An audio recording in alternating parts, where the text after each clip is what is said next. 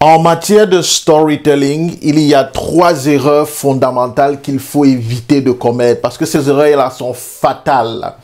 Quelles sont-elles? Écoute cette histoire.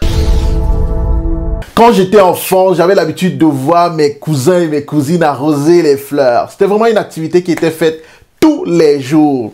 Et donc un jour, je suis là, je m'ennuie, je sais pas quoi faire. Il est environ 12 heures par là. Je décide moi aussi, ah, pour m'occuper, d'arroser les fleurs. Et donc je m'en vais, je prends l'arrosoir et me voici. En train d'arroser les fleurs avec beaucoup de zèle.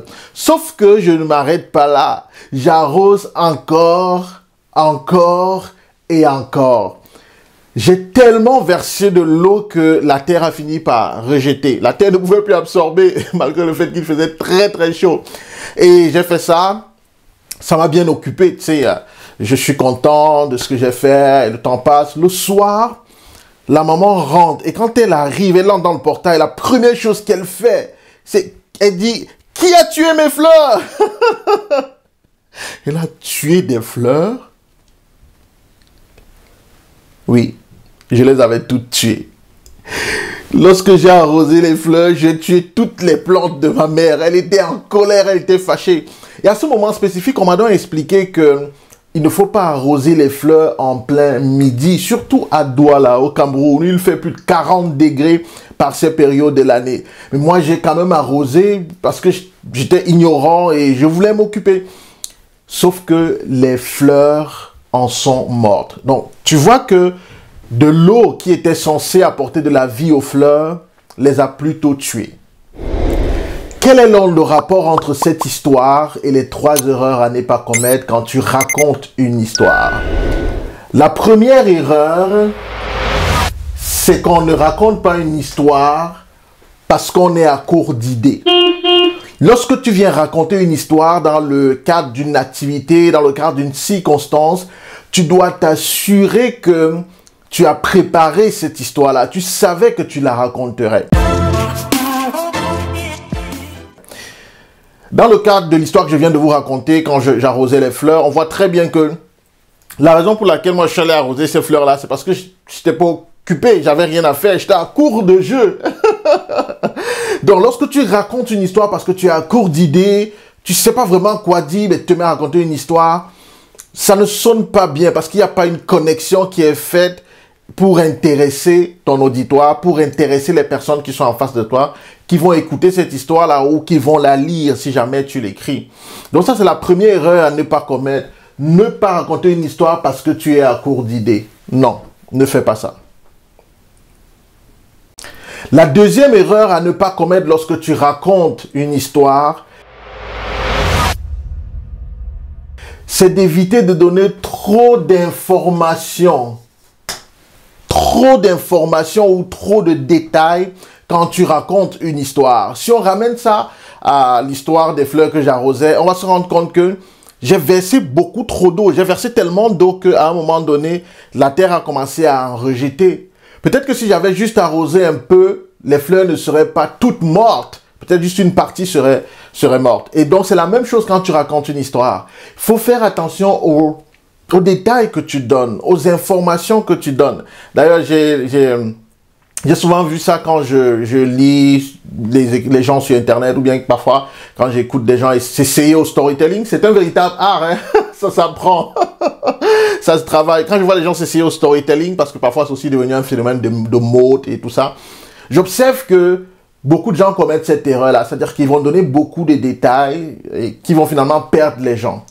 Toutefois, j'ai une précision à faire. Quand tu racontes une histoire et que tu choisis de donner beaucoup de détails à un moment donné, tu dois donner ces détails-là parce que tu veux amplifier un élément, tu veux peut-être stimuler les émotions, tu veux que les gens vivent une expérience descriptive assez poussée et donc tu donnes davantage de détails à une partie de ton histoire, à un moment spécifique de ton histoire, parce que tu as un but, une fois de plus, à atteindre.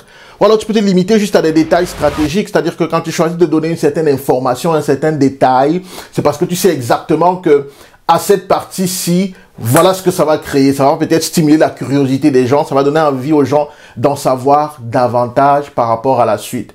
Parce que c'est c'est l'une des locomotives de ton histoire, c'est qu'à chaque fois où les gens lise, lise un mot, lise une phrase, ou bien écoute un mot ou écoute une phrase que tu prononces, ils devraient être intéressés à savoir ce qui va suivre. C'est comme ça que tu as leur attention de façon soutenue sur le temps ou bien sur le nombre de lignes ou le nombre de pages où tu écris cette histoire-là. Donc voilà la deuxième erreur à ne pas commettre, donner trop d'informations ou trop de détails. La troisième erreur que j'observe chez beaucoup de gens lorsque les gens s'essayent à raconter des histoires, à faire du storytelling, eh bien, c'est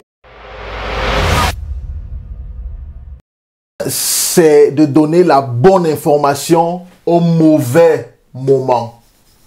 C'est le moment qui n'est pas le bon. C'est pas le moment qui n'est pas le bon. C'est que l'information est pertinente peut-être. Elle est intéressante pour ton histoire. Sauf que dans la structure narrative de ton histoire, cette information arrive au mauvais moment. Quand tu racontes une histoire, tu dois t'assurer que l'information que tu donnes à un moment M permet de mieux comprendre ce qui précède et donne envie de savoir ce qui va suivre. C'est vraiment comme ça que ça fonctionne.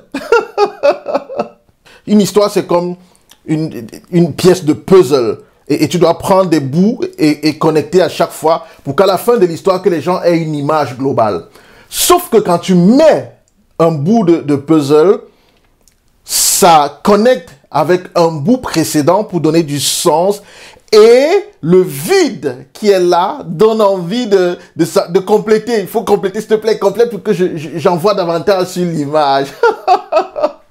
C'est ça la puissance du storytelling. Donc, la troisième erreur fatale que commettent beaucoup de gens, c'est de donner la bonne information, mais au mauvais moment dans la structure narrative. C'est pour ça que quand on travaille, quand je forme et je coach les entrepreneurs ou les, les leaders, je leur montre que voilà, dans leur pitch, dans leur histoire, dans leur communication, il est mieux de donner cette information avant telle autre pour avoir l'impact recherché.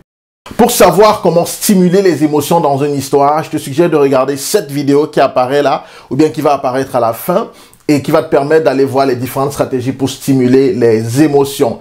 Aussi, tu peux cliquer sur le lien que j'ai mis dans la description pour rejoindre la masterclass que j'organise, formation gratuite, sur comment propulser ton entreprise avec la bonne histoire. Abonne-toi si ce n'est pas encore fait et partage cette vidéo si tu l'as trouvée intéressante. Merci.